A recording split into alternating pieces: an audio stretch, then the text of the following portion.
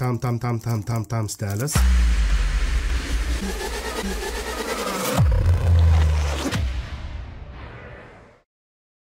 Tai yra paskutinis lotas, kuris atkeliavo būtent su tais vienetais. Taigi, štai tos neaiškus dalykėlis. Iš tiesų,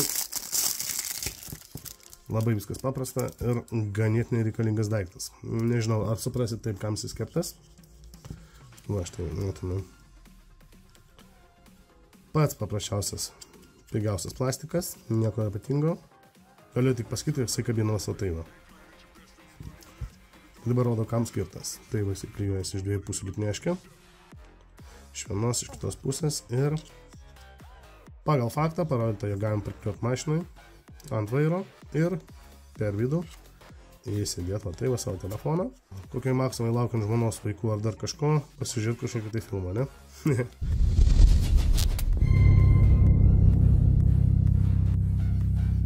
kartais tokio dalyko labai labai kažkur trūksta. Taigi žiūrėsim, kur jisai man, man, man pasitarnaus.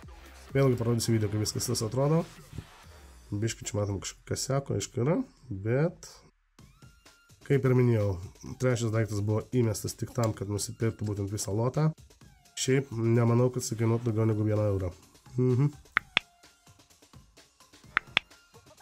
Aš esu savo kitelinėje, iš tiesų nelabai radau, kur jas dar prikabint, ne?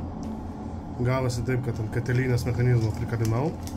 Na, kars nuo karto reikia čia pasėdėti ir manau būtų neblogai. Tai va. Ja, pasižiūrėti kažką.